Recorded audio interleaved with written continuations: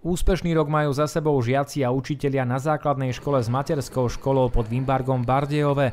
Posledný deň pred prázdninami sa všetci žiaci zišli v areáli školy pred hlavným vchodom, kde prebehlo vyhodnotenie najlepších žiakov, ktorí sa umiestnili na popredných priečkách na okresných, krajských, celoštátnych súťažiach či na olimpiádach. V tomto školskom roku naša škola sa zapojila do troch medzinárodných projektov.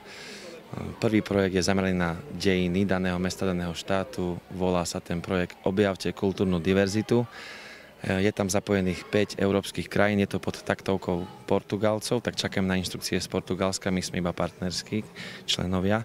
Projekt číslo 2 sa nazýva Šťastné generácie pre budúcnosť, to je pod taktovkou Turkov, taký najvítálnejší, najzrelší projekt. V rámci procesu prebiehajú e-twinningové aktivity, no a čakáme na procesy rozhodovacie v septembri v Bruseli, či to prejde alebo neprejde.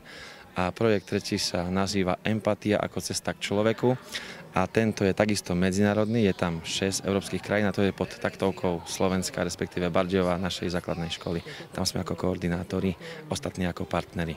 Vyhlásení boli aj najlepší hokejisti a hokejistky z hokejových tried. Kde zohľadňujeme okrem športovej stránky aj vzdelanie, správanie.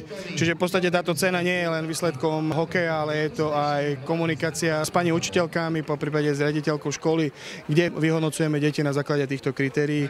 A som veľmi rád, že už tohto, tohto roku sme vyhodnocovali aj prvýkrát prváčikov kde dúfam, že aj na budúci rok budeme vyhodnocovať aj prváčikov, aj druháčikov.